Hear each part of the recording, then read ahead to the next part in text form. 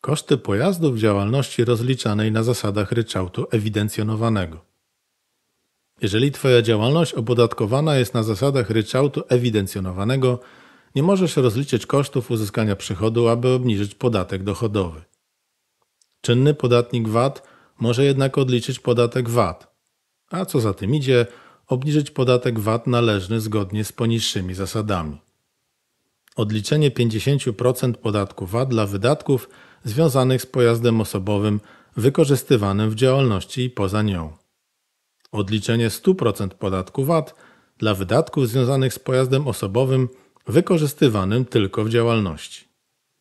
Pamiętaj, odliczenie podatku VAT jest uzależnione od sposobu wykorzystywania samochodu, nie od tego, czy jest to środek trwały, pojazd prywatny czy pojazd w leasingu.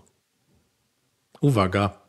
Odliczenie 100% podatku VAT wymaga zgłoszenia samochodu osobowego na VAT-26 do Urzędu Skarbowego, prowadzenia kilometrówki do celów VAT, stworzenia regulaminu użytkowania pojazdu w firmie, zasady używania samochodu w firmie, np. kto jest uprawniony do korzystania z samochodów firmowych, czy w jakim zakresie samochód jest wykorzystywany w firmie. Wykorzystywania pojazdu tylko w działalności. Wykluczone jest użytkowanie prywatne. Teraz na przykładzie faktury za paliwo pokażę, jak powinny zostać zaksięgowane odpowiednie kwoty. Kwota faktury to 1000 zł netto plus 230 zł VAT.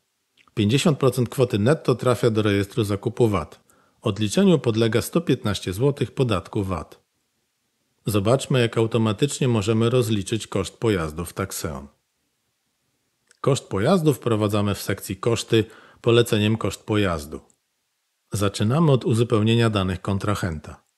Na potrzeby tego filmu przyjmijmy, że będzie to Taxeon.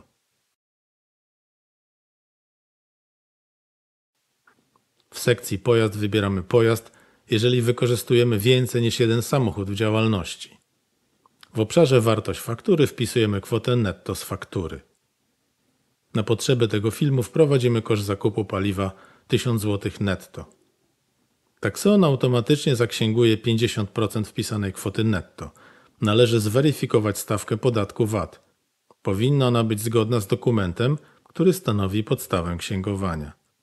Powód opodatkowania nabycie pozostałych towarów i usług. Pozostaje nam tylko zapisać wprowadzony koszt poleceniem zapisz. A teraz sprawdź, jakie to proste i zacznij rozliczać koszty swojego pojazdu. Taxeon wspiera przedsiębiorców. Możemy rozliczyć Twoją firmę online lub możesz to robić samodzielnie, korzystając z naszej aplikacji. Wybór należy do Ciebie. Najprostsza księgowość online. Sprawdź na taxeon.pl. Dziękuję za uwagę.